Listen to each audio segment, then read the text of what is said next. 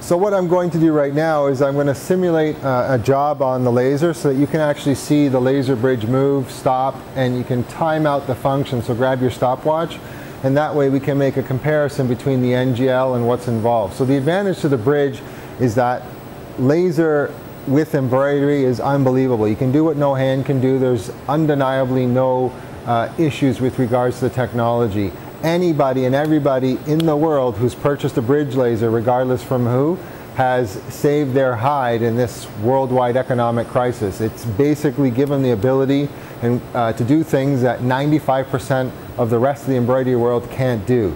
And the NGL laser, the purpose is to give you access without having to spend 200 grand. It's almost better to have two lasers of NGL.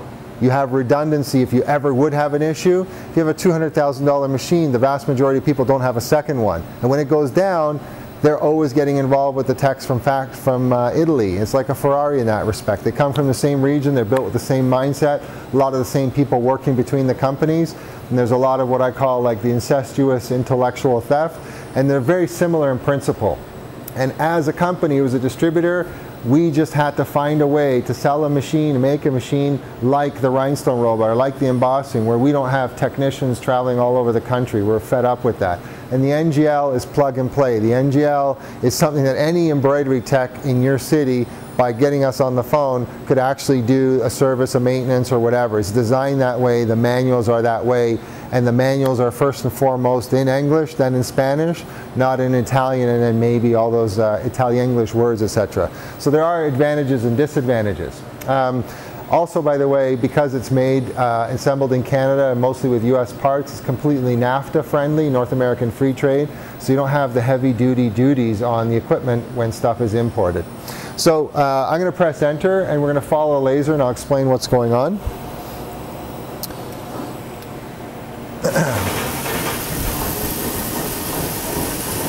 So the laser travels to its position. I can't go too close because there's a, a, a, laser curtain there that's uh, visually preventing anybody from getting uh, in the way of the laser. And uh, the hood went down, the fan turned on, and then the hood went up, moved to the next position, goes down, and then internally the laser would be firing. So now it would be doing its three or four or five, whatever passes, whatever parameters were set, it would be cutting. And then the hood will lift up. There's always a delay to collect smoke because when the laser moves there's still smoke remaining and that's why with the bridge laser there tends to be some smoke in the room unless you put in a delay that's long enough to capture it. With the NGL that's not the case at all. So hopefully you had your timer running and you'll see that you know there's a 5, 7, 8, 10, 20 second, depends on what you're cutting, how many layers you're cutting, how many passes you have. There's a strategy and that takes time. But in the meantime, your embroidery machine is not uh, doing anything, it's waiting for the laser to cut. Technically, you'd see that the girls would be going or the guys would be pulling off the excess material from the other hoops and moving it uh, down along the line. So you can't get too close to it because of the safety curtain. And that red light up top is indicating that the laser is working and firing. So that's basically the process. It's going to go to the home position right now. And then that home position is a test table so you can find out the parameters. What we've done with the NGL software is we have pre-programmed all tackle twills in there from you know Stahls and SM Cristal, etc. So they're the, the settings are already pre-programmed. You just call them up and you tell it what color it is. That's very easy. And you can add to the library. There's no other software that has that. Just a little bit of creativity. So now you could basically pull off your hoops or you could, if you're done on one layer, you're finished completely, it goes to the cleaning station. Otherwise, you'd pull off the excess material and put down your second layer if that's what you're up to. So that's the process with regards to the bridge. What we do with the NGL is we would simply collect each one of the hoops and the embroidery machine would be free and we put it on a table beside the NGL and somebody would fire off on the hoops as they position them in, clip them in, and your embroidery machine's free. The big huge advantage to the NGL laser is that with the bridge, I'm limited to the machine that's underneath the bridge. So if I have a longer bridge and I have two six heads, three six heads, four six heads, 12 head, whatever, those are the only ones that apply to the laser. And typically everybody uh, who's buying a bridge has, you know, 50, 60 heads plus.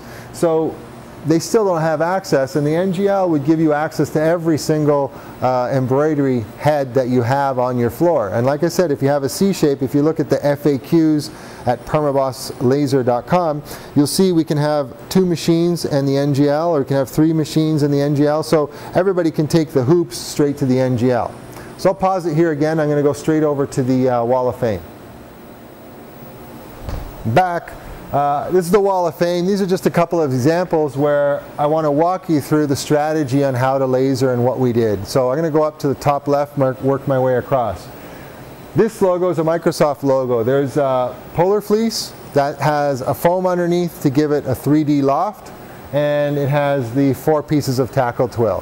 What we did here was we simply put the foam down, running stitch and cut it, then we put the fleece on top, we did a running stitch, then the laser cut it, pulled away the excess, and then we lay down our four colors, a big square. So it's basically one layer underneath, two, three, four, five, six layer design, but it's 3D. This you could technically do without a laser, but it would never be totally symmetrical and it would be difficult to get the placement right because it's lofty and it's 3D. So that's what we're able to do relatively quickly with the laser. Here's an example. This is all tackle twill. And when we use all tackle twill, we don't necessarily have to use foil.